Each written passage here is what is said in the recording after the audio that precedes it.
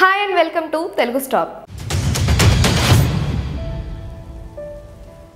Kannada చిత్ర పరిశ్రమలో star హీరోగా మంచి ప్రేక్షకాదరణ పొందిన పునీత్ రాజ్కుమార్ ఆకస్మిక మరణం యావత్ చిత్ర పరిశ్రమను తీవ్ర దుఃఖసాగరంలోకి నెట్టేసింది ఆయన శుక్రవారం మధ్యాహ్నం గుండెపోటుతో మరణించడంతో అభిమానులు ఈ విషయాన్ని జీర్ణించుకోలేకపోతున్నారు కేవలం నటుడిగా మాత్రమే కాకుండా పునీత్ ఎన్నో విద్యాలయాలను అనాథ శరణాలయాలను వృద్ధాశ్రమాలను నడుపుతూ ఎంతో గొప్ప మనసు చాటుకున్నారు.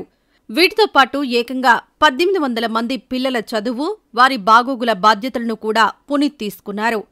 ఇదిలా ఉండగా పునీత్ మరణం తలుచుకుని ఎంతో మంది సినీ ప్రముఖులు అభిమానులు ఆయన మృతికి ప్రగాఢ సంతాపం తెలియజేస్తూ కన్నీటి పర్యంతమయ్యారు. ఇక పునీత్ మరణం గురించి హీరో విశాల్ స్పందిస్తూ పలు ఆసక్తికరమైన వ్యాఖ్యలు చేశారు.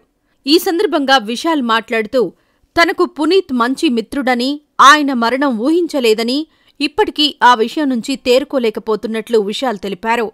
ఈ క్రమంలోనే విశాల్ మాట్లాడుతూ తన మిత్రుడు పద్దెనిమిది వందల మంది పిల్లల బాధ్యతలు తీసుకుని వారి చదువులు బాగోగులు చూసుకుంటున్నారు. అతని మరణాంతరం తన మిత్రుడిగా ఆ పద్దెనిమిది వందల మంది పిల్లల బాధ్యతలను తాను తీసుకుంటున్నట్లు విశాల్ వెల్లడించారు. విశాల్ ప్రధాన పాత్రలో నటిస్తున్నటువంటి ఎనిమి చిత్రం నవంబర్ నాలుగవ తేదీ ప్రేక్షకుల ముందుకు రానున్న సందర్భంగా ఈ సినిమా ప్రీ రిలీజ్ వేడుకలను నిర్వహించారు. ఈ వేడుకలో భాగంగా విశాల్ మాట్లాడుతూ మరొకసారి పునీత్ రాజ్ కుమార్ను గుర్తు చేసుకుని ఆయన బాధ్యతలను విశాల్ తీసుకుంటున్నట్లు ఈ సందర్భంగా ప్రకటించారు. ఇవి ఈ వీడియోకి సంబంధించిన పూర్తి విషయాలు. ప్రతిరోజు తెలుగు వార్త విశేషాల కోసం మా తెలుగు స్టాప్ ఛానల్ని సబ్స్క్రైబ్ చేసి గంట నొక్కడం మర్చిపోకండి. ఫేస్బుక్ ఇన్స్టా ట్విట్టర్ డైలీ హంట్లో తెలుగు స్టాప్ను ఫాలో అవ్వండి. నిరంతర విశేషాల కోసం తెలుగు స్టాప్ వెబ్సైట్ను చూడండి.